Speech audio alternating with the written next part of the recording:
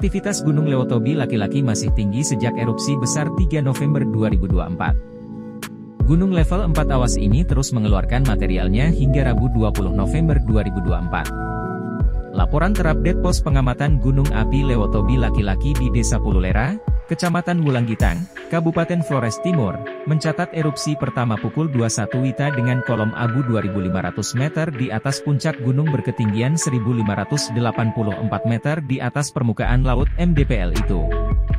Erupsi kedua terjadi pada pukul 10.05 WITA tinggi abunya mencapai 1500 meter di atas puncak atau 3804 mdpl. Sejumlah warga yang mengambil barangnya di Desa Boru, Kecamatan Wulanggitang, yang jaraknya sekira 7 km dari pusat letusan, merasakan gemuruh kuat disertai getaran.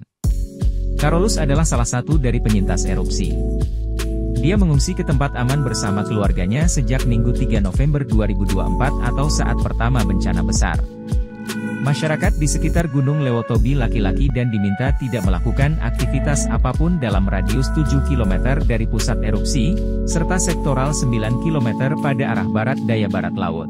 Masyarakat mewaspadai potensi banjir lahar hujan pada sungai-sungai yang berhulu ke puncak Gunung Lewotobi laki-laki, jika terjadi hujan dengan intensitas tinggi.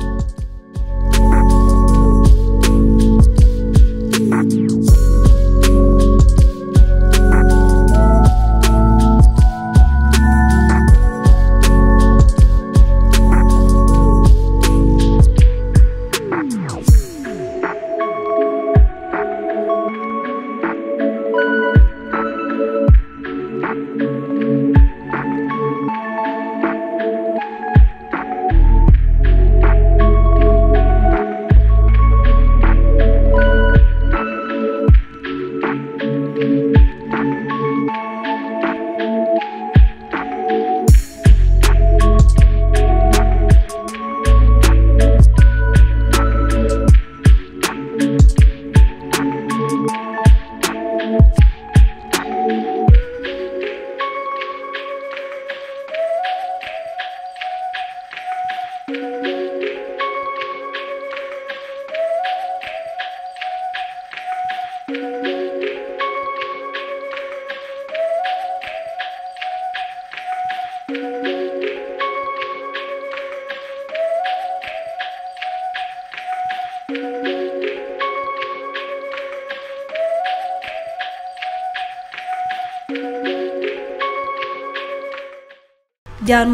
Tribun X sekarang.